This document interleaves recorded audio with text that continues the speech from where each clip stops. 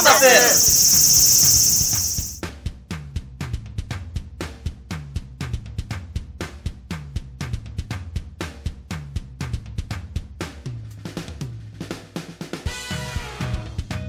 本日はこのすごく暑い中静岡大学のオープンキャンパスが行われています。さて、えー今回のオープンキャンパスの取材初めてということで李さん今のお気持ちをお聞かせください。今日とても暑いですね。えっとでもあの皆さんであの一緒に楽しみですからあの皆さんあ学生たち高校生たちもえっと気持ちも売り上げて自分も楽しみにしています。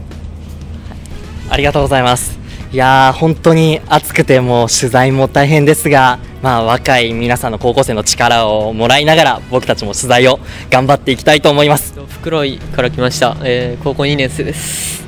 袋井高校から来ました、えー高校2年生です。はい、えー、袋井から来た高校2年生の方ということですごい元気が良さそうな感じでありがとうございます、えー、それでは今回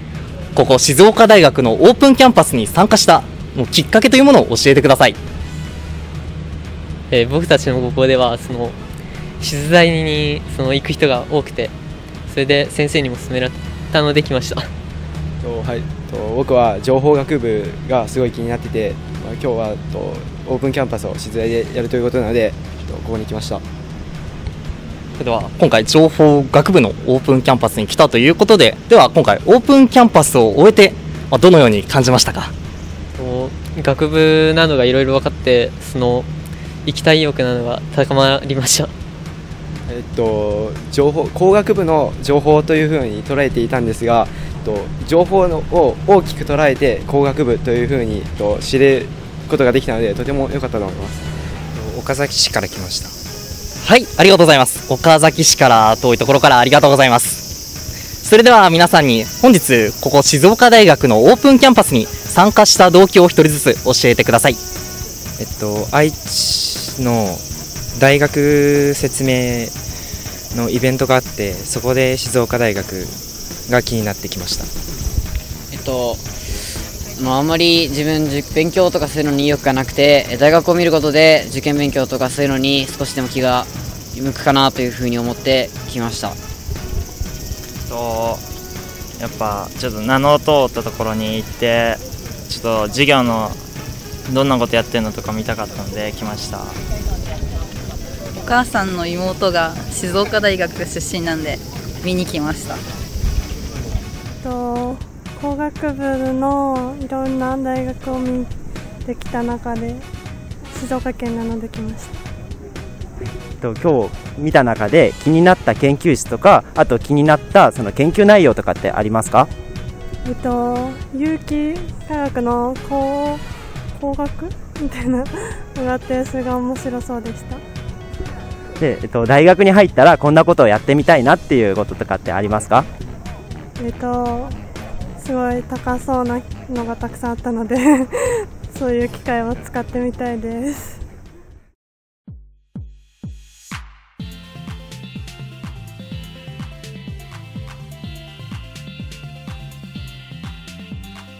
覚えてないんですけど、えーっとなんか目線の検出をする研究室からとか3つほど行きましたなんか流体のことについてなど、まあ、同じで3つ行きました。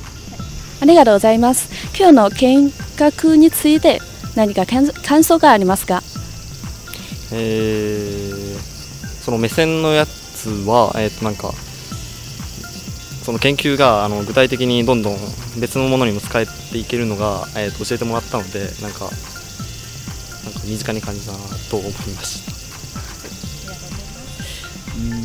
やっぱこう体験できたというところもあってこう機械って結構なんだろう僕たちにとってこう程遠いような存在だったんですけどこうやっぱそういうけ研究室とかを見ることでやっぱこう僕らでもが身近に感じることができるような感じでしたありがとうございます。あの、よければ、進学のこと、ご希望を教えてよろしいでしょうか？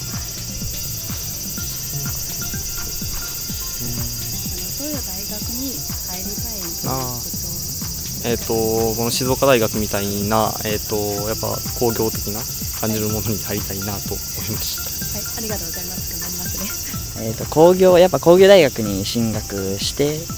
やっぱこう人の役に立つようなやっぱ機械も開発できたらなみたいなことを思っております